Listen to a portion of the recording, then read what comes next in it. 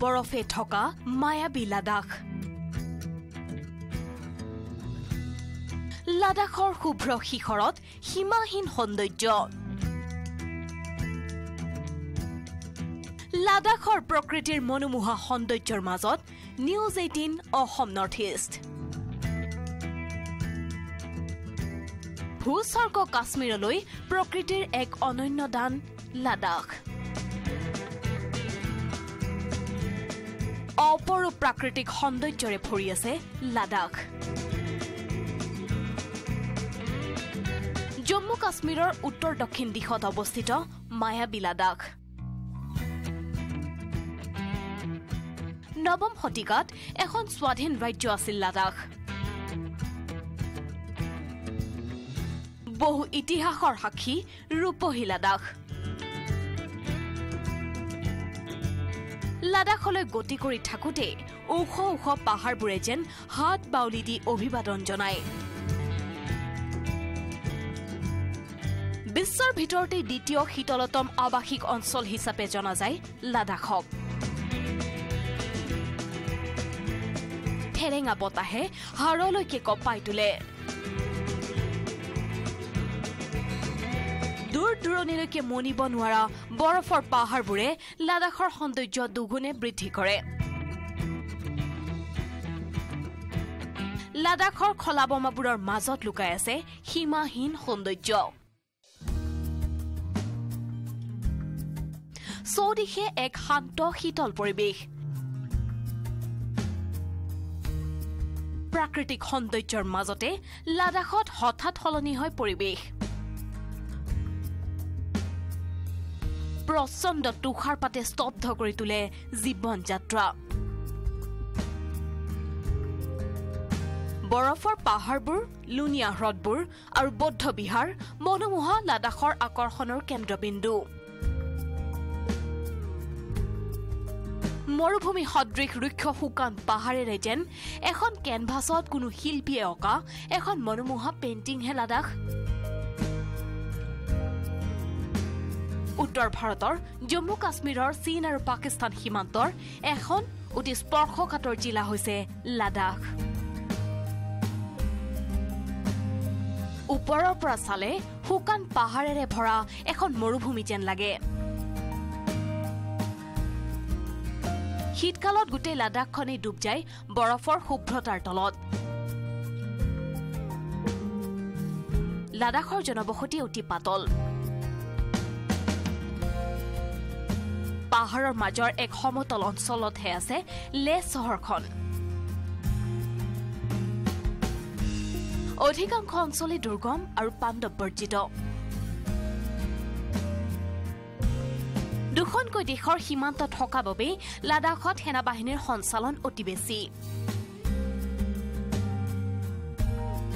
লেহ চহৰখন সমুদ্ৰ পৃষ্ঠৰ পৰা প্ৰায় এঘাৰ হাজাৰ পাঁচশ ফুট উচ্চতাত অৱস্থিত।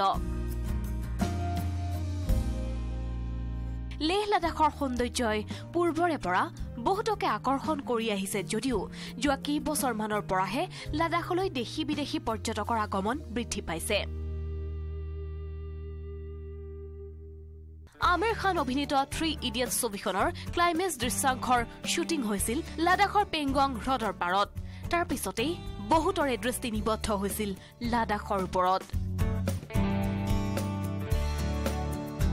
লাডাখৰ মায়াবী সৌন্দৰ্যৰ মাজত এবাৰ নিজকে বিলীন কৰি দিবলৈ আশাৰ সঞ্চাৰ হৈছিল বহুতৰে মনত। মিছন ইম্পচিবল ছিৰিজৰ শেহতীয়া চিনেমা ফল' আউটৰ নিৰ্মাতাকো আকৰ্ষণ কৰিছিল লাডাখৰ টুৰটুক নামৰ চিয়াচেন গ্লেছিয়াৰৰ সমীপৰ গাঁওখনে। লাডাখলৈ দুঃসাহসিক ট্ৰেকিং বাইকিং চাইক্লিং সকলো কৰিবলৈ দেশী বিদেশী বহু লোকৰ আগমন ঘটে लद्दाख इज मेनली स्पेसिफिकली ये ट्रैकिंग के लिए है जैसे फॉरेनर्स आते तो ट्रैकिंग करते हैं अभी हमारे इंडियंस भी बहुत करते हैं जैसे यहाँ पे अगर समर्स में आप करोगे ट्रैकिंग जैसे एक्सपीडिशन होती है स्टॉक कंगरी होता है बाकी मार्का वैली ट्रैक है बहुत सारे अलग अलग तीन दिन से लेके चार पाँच दस दिन बीस दिन, चालीस दिन तक के ट्रैक्स होते हैं। यहाँ पर यहाँ से मनाली तक की ट्रैक्स होते बाकी या यहाँ से लोग साइट सीन होते हैं गाड़ी से और मोटर बाइक टूर भी होती है यहाँ पे मनाली से ले या श्रीनगर से ले। ये सारे एक्टिविटीज़ राफ्टिंग होती है यहाँ पर ऐसी ये सारे एक्टिविटीज़ हो यहाँ पर खारडूंगला है। वर्ल्ड हाईएस्ट मोटरेबल रोड है, आपको पता ही होगा वो। तो यहाँ पे मेनली जितने भी स्पोर्ट्स है वो वर्ल्ड वर्ल्ड के हाईएस्ट उस पर माना जाता है। चादर ट्रैक में सर मेनली ये होता है कि वो एक जांसकर रिवर है वो फ्रीज हो जाता है पूरा क्योंकि माइनस ट्वेंटी फाइव थर्टी रहता है तो पूरा जो रिवर है वो फ्रीज हो जाता है। फिर आ, लोग उसके ऊपर नीचे से पानी चल रहा ऊपर पानी एकदम जमा हुआ है तो लोग वो फ्रोजन रिवर पे चलते हैं। सेवन डेज़ का ट्रैक होता है। वहीं पे कैंपिंग खाना पीना सब वहीं पे होता है पोर्टर्स लोग होते हैं वो सामान लेके जाते हैं तो सेवन डेज का वो ट्रैक रहता है अभी बहुत ये कुछ साल से बहुत ये टूरिस्ट आ रहे हैं हमारे इंडियंस ही करते हैं मेनली লাডাখ মানেই যেন সৌন্দৰ্যৰ অন্য নাম যিফালে চকু ফুৰোৱা হয় তাতে দেখা যায় প্ৰকৃতিৰ ন ন মনোমোহা ৰূপ আপোনাৰ যদি পৃথিৱীৰ আটাইতকৈ ওখ ঠাইখনত ৰিভাৰ ৰাফটিং কৰিবলৈ মন আছে তেন্তে আপুনি লাডাখলৈ আহিব পাৰে। আমাৰ সভ্যতাৰ বহু কাহিনী বুকুত বান্ধি বৈ অহা দুখন নদীৰ সংগমস্থলীতে আছে এই ৰাফটিঙৰ সুবিধা। ঝংস্কাৰ আৰু ইণ্ডোজ নদী দুখন লগ খোৱা লেহৰ এই স্থানৰ প্ৰাকৃতিক সৌন্দৰ্য উপভোগ কৰিবলৈ আগমন ঘটে বহু পৰ্যটকৰ। সৌন্দৰ্যৰে ভৰপূৰ হৈছে লাডাখ। আৰু লাডাখলৈ যি লোক এবাৰ আহে ইয়াৰ সৌন্দৰ্যত তেওঁলোক ডুব যায়। আৰু মই এতিয়া বৰ্তমান উপস্থিত আছোঁ দুখন নদীৰ সংগমস্থলত। সেয়া হৈছে জনস্কাৰ আৰু ইণ্ডোজ। আৰু এই ইণ্ডোজ আৰু জনস্কাৰৰ যি সংগমস্থলী তাত আছে আৰু বহু পৰ্যটক ইয়ালৈ আহে। এই স্থানৰ পৰা কিছু নিলগতে আছে এটি বিশেষ পাহাৰ। মেগনেটিক হিল নামেৰে পৰিচিত এই পাহাৰটোৰ কাষৰ পথত নিউট্ৰেল গিয়েৰত গাড়ী ৰখাই থলে। পাহাৰটোৰ চুম্বকীয় আকৰ্ষণৰ বাবে গাড়ীখন নিজে নিজে আগলৈ গৈ থাকে বুলি এক প্ৰচলিত ধাৰণা আছে যদিও সেয়া এক দৃষ্টি বিভ্ৰম বুলিহে জনা গ'ল। আনহাতে এই পথেৰে যাতায়াত কৰা লোকসকললৈ দৈনিক খাদ্য আগবঢ়াই আহিছে। সেনা বাহিনীৰ দ্বাৰা পৰিচালিত পাথৰ চাহিব দৰগাহৰ কৰ্তৃপক্ষই। অঞ্চলটোৰ সেনা বাহিনীৰ লোকসকলৰ মাজত এক অতি পবিত্ৰ স্থানৰূপে পৰিচিত এই দৰগাহ। দৰাচলতে লাডাখৰ বাট পথসমূহত বহু দূৰলৈকে কোনো জনবসতি তথা দোকান পোহাৰ নাই। আছে কেৱল মেঘালী আকাশৰ তলত প্ৰকৃতিৰ ভিন্ন ৰঙী ছবি। এনেদৰেই সমগ্ৰ দেশ তথা পৃথিৱীতে এক সুকীয়া ভৌগোলিক গঠন আৰু প্ৰকৃতিৰ অনন্য ৰূপৰ বাবে বিশেষ পৰিচয় আছে লাডাখৰ।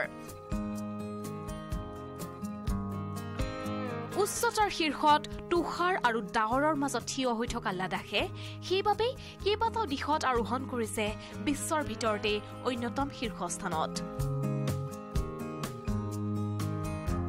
সৌন্দৰ্যৰ আগৰ হৈছে লাডাখ। ইয়াত ঘনে ঘনে প্ৰকৃতিৰ সলনি হয় বতৰ সলনি হয় কিন্তু সকলো প্ৰতিকূলতাকো নেওচি বহু লোকৰ আগমন ঘটে লাডাখলৈ কেৱল ইয়াৰ প্ৰাকৃতিক সৌন্দৰ্য উপভোগ কৰিবৰ বাবে। উচ্চতাৰ মাজত নিহিত হৈ থকা সীমাহীন সৌন্দৰ্যৰ বাবেই সমগ্ৰ বিশ্বতে বিশেষ পৰিস্থিতি থকা লাডাখত বতৰ সলনি হয় মুহূৰ্তৰ ভিতৰতে। ফৰকাল আকাশ হঠাতে ভৰি পৰে বৰষুণ তথা ভয়ংকৰ তুষাৰপাতেৰে।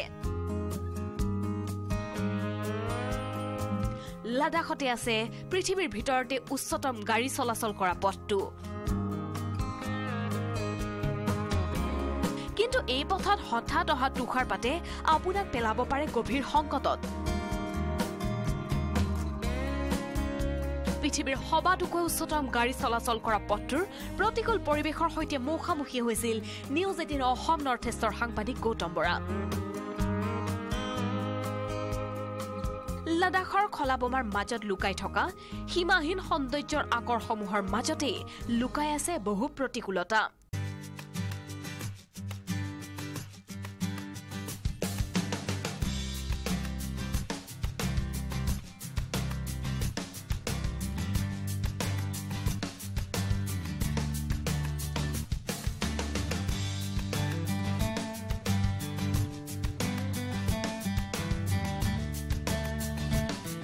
সমুদ্ৰ পৃষ্ঠৰ পৰা সোতৰ হাজাৰ নশ বিৰাশী ফুট উচ্চতাত অৱস্থিত খাৰডুংলা পাছত গাড়ী বা বাইক চলাবলৈ সেয়েহে বহু পৰ্যটকৰে থাকে বিশেষ হেঁপাহ।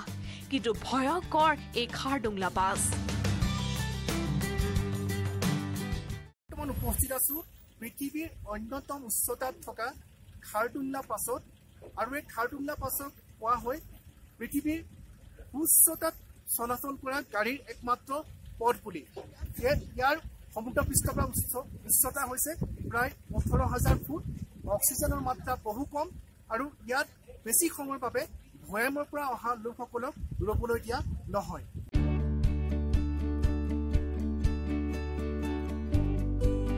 খাৰডুংলা পাছত আমি গৈ উপস্থিত হওঁতে বতৰ সুন্দৰ আছিল।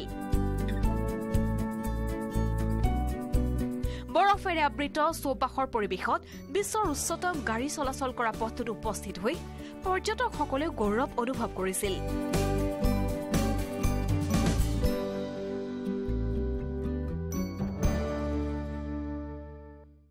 ओके हलूंगा आके मुझे बहुत ज़्यादा कोल्ड लग रहा है I think this is one of the most highest motorable uh, places in the world and that's why I wanted to be here. The place is really, really unique and very remote, I would say. I think survival is in question, so I think that's why I really wanted to um, experience it because something that you will not find in metro cities and uh, yeah, that's really, really beautiful. কিন্তু হঠাতে সলনি হ'ল পৰিৱেশ আৰম্ভ হ'ল ব্যাপক তুষাৰপাত বতাহত ভাহি অহা বৰফৰ কণিকাই ধুঁৱলি কুঁৱলী কৰি পেলালে সমগ্ৰ অঞ্চল। কিছু সময়ৰ ভিতৰতে বৰফৰ শুভ্ৰতাই ঢাকি পেলালে চৌদিশৰ পৰিৱেশ। দ্ৰুত গতিত নিম্নগামী হ'ল উষ্ণতা। এক কঠিন পৰিৱেশৰ মাজত আবদ্ধ হৈ পৰিল পৰ্যটকসকল।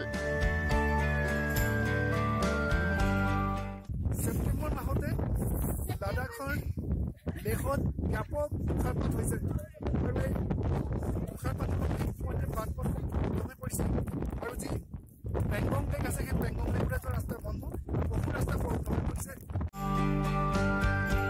লাডাখৰ এই ৰুক্ষ মায়াবী পৰিৱেশে আকৰ্ষণ কৰি আহিছে। দুঃসাহসিক কাম কৰি ভাল পোৱা পৰ্যটকসকলক।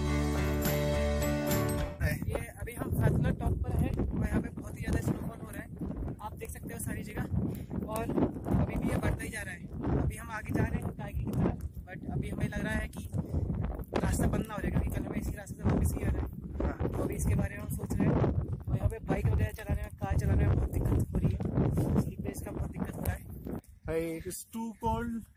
It's a sudden temperature down over here.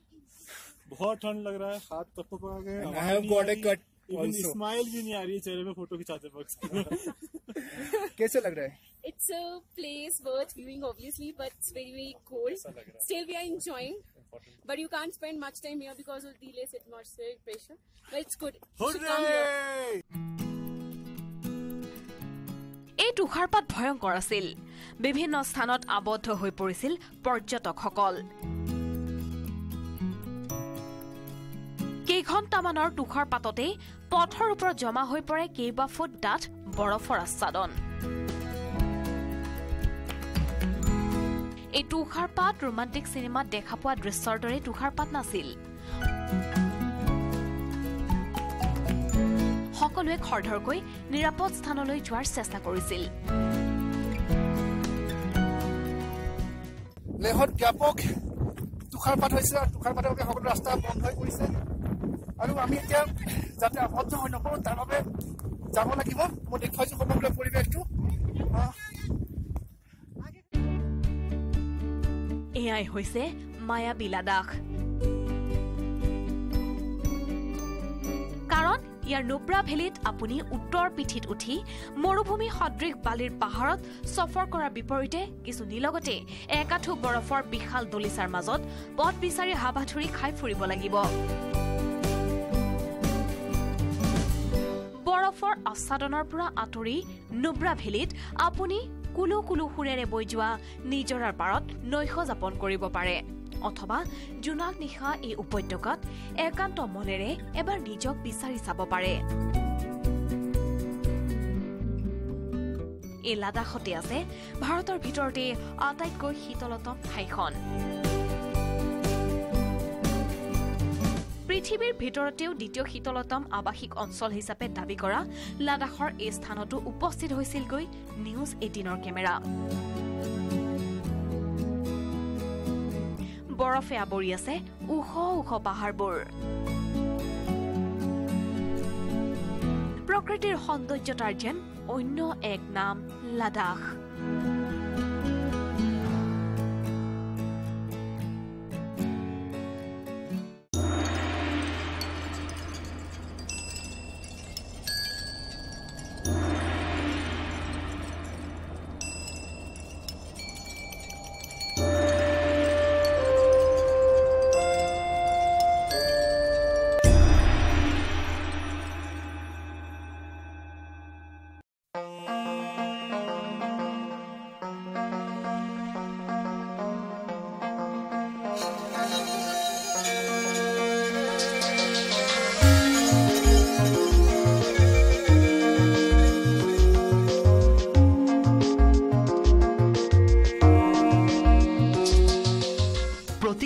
ঠাইৰে একোটা নিৰ্দিষ্ট বৈশিষ্ট্য থাকে।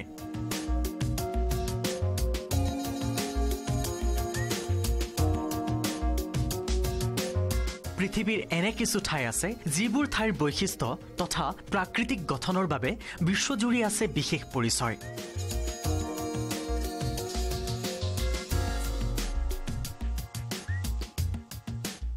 তেনে এখন ঠাই হৈছে লাডাখ।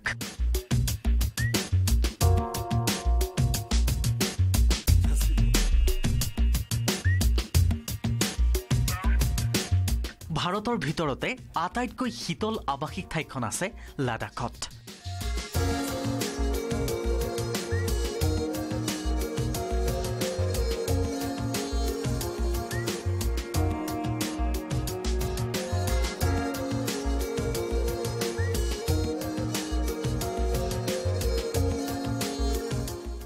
এই ঠাইখন পৃথিৱীৰ ভিতৰতে দ্বিতীয়খন শীতলতম আৱাসিক স্থানৰূপেও পৰিচিত।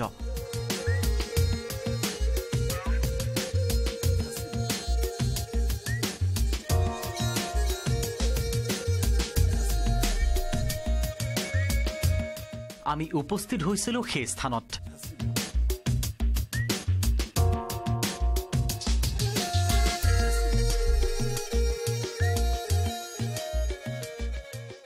মই বৰ্তমান উপস্থিত আছো ভাৰতৰ আটাইতকৈ শীতল আৱাসিক অঞ্চল ৰূপে পৰিচিত দ্ৰাছত দ্ৰাছত উষ্ণতা মাইনাছ ষাঠি ডিগ্ৰী ইতিমধ্যে ৰেকৰ্ড কৰা হৈছে আৰু ইয়াত উষ্ণতা মাইনাছ ত্ৰিছ ডিগ্ৰীৰ পৰা মাইনাছ চল্লিছ ডিগ্ৰী থকা বুলি হয় বুলি আমি জানিব পাৰিছোঁ।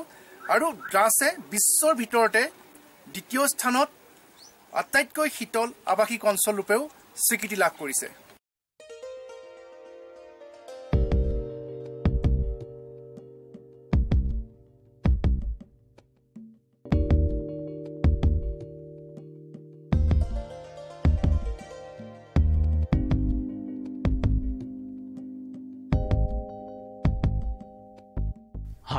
কাৰ্গিলৰ দ্ৰাছেই হৈছে ভাৰতৰ ভিতৰতে সবাতোকৈ শীতলতম আৱাসিক অঞ্চল।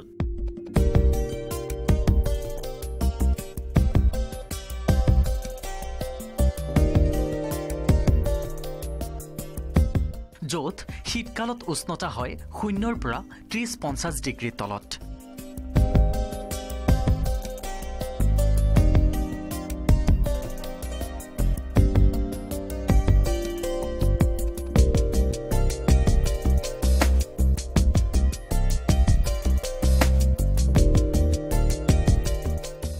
ড্ৰাছ বৰ্তমান দেশৰ স্বাভিমানৰো প্ৰতীক।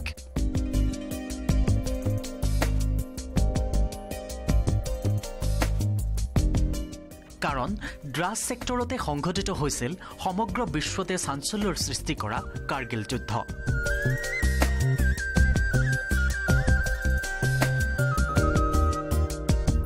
দুখনকৈ দেশৰ সীমান্ত থকা বাবে লাডাখত সেনাবাহিনীৰ সঞ্চালন অতি বেছি।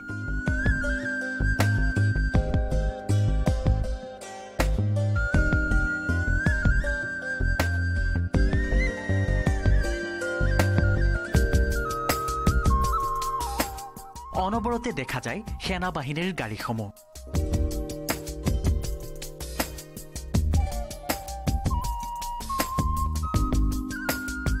শত্ৰুপক্ষৰ যিকোনো মুহূৰ্তত হ'ব পৰা আক্ৰমণৰ বাবে সদা সষ্টম হৈ থাকে ভাৰতীয় সেনা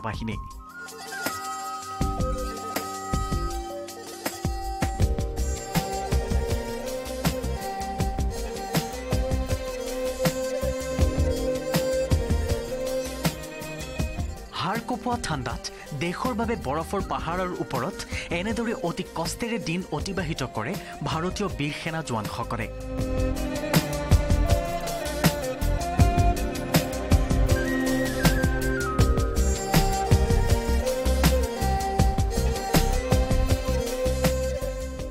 মই বৰ্তমান উপস্থিত আছোঁ কাৰ্গিলৰ ড্ৰাছ ছেক্টৰত আৰু মোৰ পিছফালে আছে ইয়াত তলুলিং পাহাৰ আৰু কিছু নিলগত আমি দেখিবলৈ পাইছোঁ টাইগাৰ হিল। আৰু সেই যি যুদ্ধ আদিৰ পৰা প্ৰায় ঊনৈছ বছৰ পূৰ্বে কাৰ্গিলত যি যুদ্ধ হৈছিলে সেই যুদ্ধত প্ৰায় পাঁচশ ঊনাষাঠিজন ভাৰতীয় সেনা বাহিনীৰ শ্বহীদৰ তেজৰ বিনিময়তে ভাৰতে এক বৃহৎ অংশটো উদ্ধাৰ কৰিবলৈ সক্ষম হৈছিল।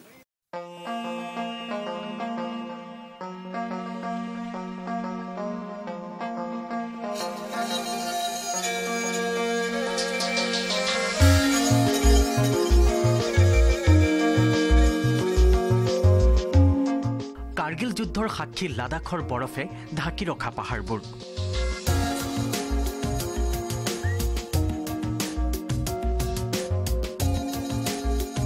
ঊনৈছশ নিৰানব্বৈ চনত এইটো দিশেৰেই পাকিস্তানী সেনাই অনুপ্ৰৱেশৰ চেষ্টা চলাইছিল।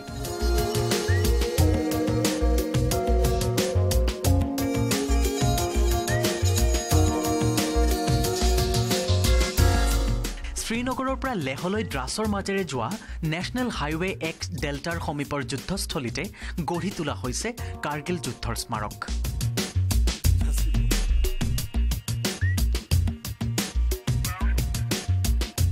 পাঁচশ ঊনষাঠিগৰাকী বীৰ সেনা জোৱানৰ চৰম ত্যাগক সুঁৱৰি আজিও প্ৰতিজন ভাৰতীয়ক গৌৰৱ কৰোৱাই টাইগাৰ হিল আৰু তলুলিং পাহাৰৰ ওপৰত উৰি থকা ভাৰতৰ ত্ৰিৰংগ পতাকাই।